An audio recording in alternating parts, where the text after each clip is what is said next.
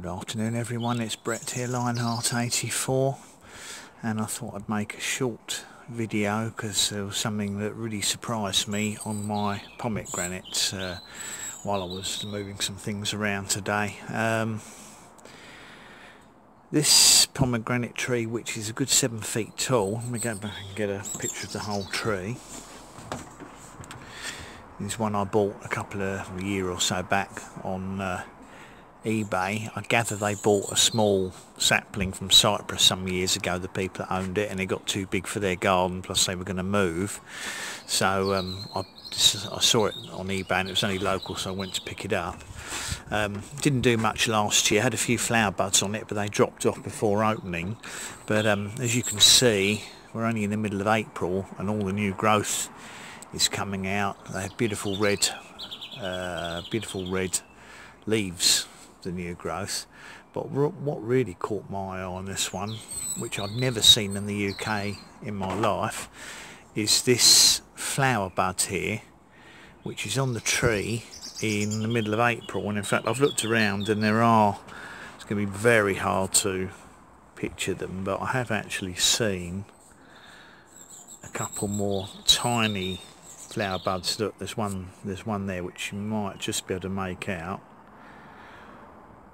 I've seen a few tiny flower buds on the tree which is very unusual for the time of year. Pomegranates here outside don't normally flower until late June or even July which is why it's nearly impossible to ever get any fruits on the uh, trees because they, they need a good four or five months from flowering to fruit maturity so our summers basically aren't long enough but I've never before seen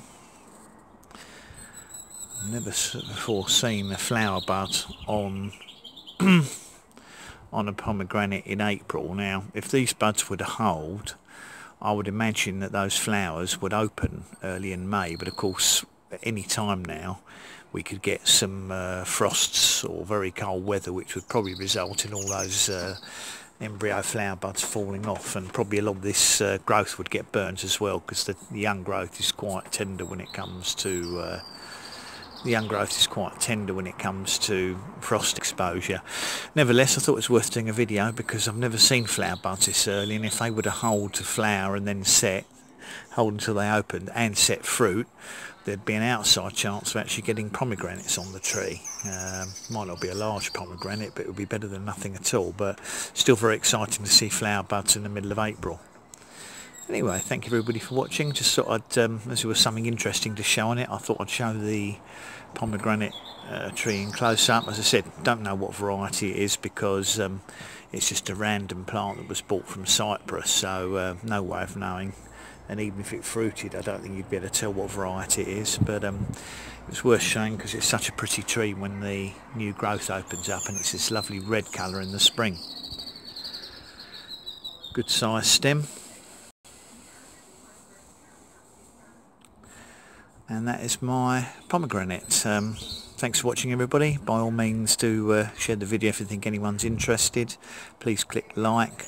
Please subscribe to my channel if you haven't done so already and hit the bell if you'd like to get notifications of new videos as I put them up uh, including obviously in a few weeks time I'll do an update on the pomegranate just to see how it's fared over late spring and early summer. Catch up with you soon. Brett out for now.